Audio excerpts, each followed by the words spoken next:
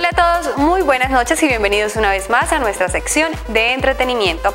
Hoy comenzamos con excelentes noticias porque una bogotana llena de amor, cariño y lo mejor, raíces o cañeras, hace parte del selecto grupo de Andrés Cepeda en La Voz Colombia. Nací aquí en Bogotá. Mi familia es de Ocaña toda y yo viví en Ocaña cuatro años. Todo, todo lo que necesitaba que pasara en mi vida pasó ya en Ocaña. Cuando parecía que el capítulo de anoche en La Voz Colombia estaba a punto de terminar sin ninguna cara conocida, aparece ella, Falon Melissa Camargo, una joven que aunque nació en Bogotá, por cosas del destino vivió gran parte de sus años en Ocaña, tierra natal también de sus padres. Y como por arte de magia, o mejor, por talento en su voz, impactó de manera casi que inmediata a Cepeda, Fanny Lu y Santa Rosa.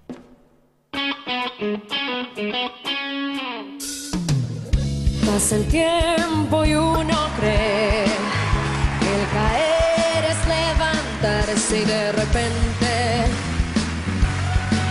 ya no te paras. Afuera,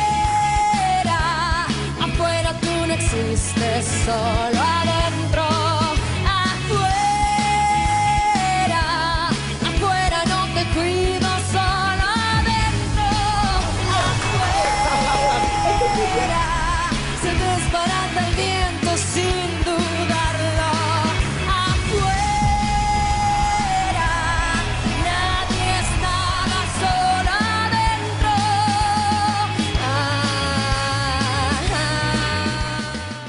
Fallon decidió quedarse con el que primero, a ojo cerrado, confió en su voz. Hola, hola, hola. Hola, ¿Cómo estás? Buenas noches. buenas noches. Cuéntame, por favor, ¿cómo te llamas? Falon Camargo. ¿De dónde vienes? Pues yo vivo aquí en Bogotá, pero de Ocaña, norte de Santander. Cepeda. Muy bien, Cepeda. Y para los que todavía dudan del talento que tenemos los ocañeros para bailar, actuar, pintar o cantar, mejor enorgullezcanse con Melissa Camargo, que durante su audición no dejó de mencionar lo mucho que ama a su linda Ocaña. Qué alegría. Gracias por confiar en mí. Yo quiero que le mandes un abrazo a tu gente antes de que te retires. Uy, no, un saludo a todo el mundo en Ocaña. Los amo, los extraño. Yo quisiera volver allá. Ai,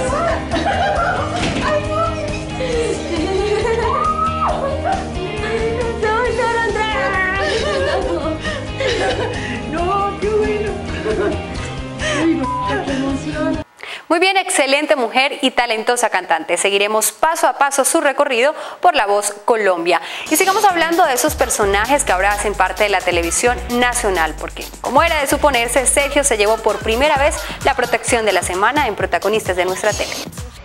El protegido es.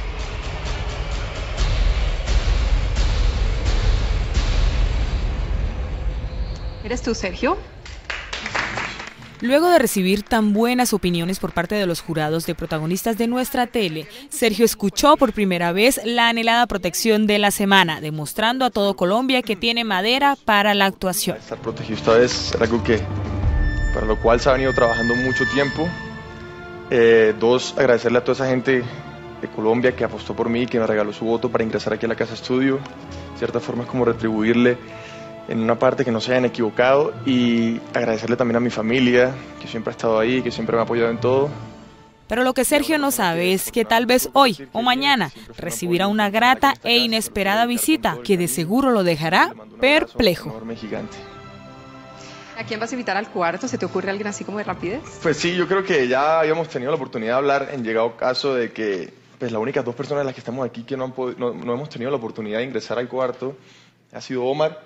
Muy bien, felicidades a Sergio. Y ahora pasamos a un excelente recomendado para los amantes del séptimo arte, porque el Cine Leonelda estará proyectando este fin de semana la película El Ataque.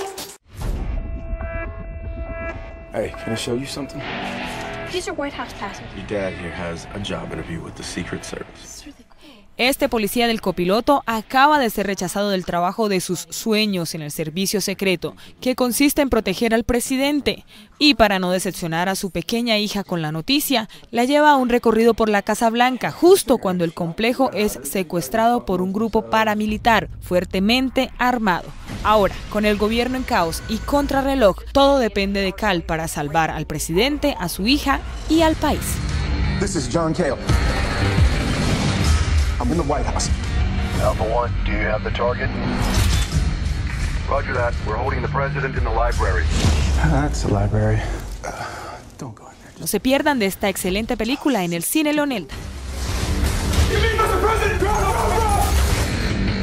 By the way, John Cale. James Owen. Muy bien, de esa manera llegamos al final de nuestra sección de entretenimiento. Les deseo a todos ustedes un feliz fin de semana.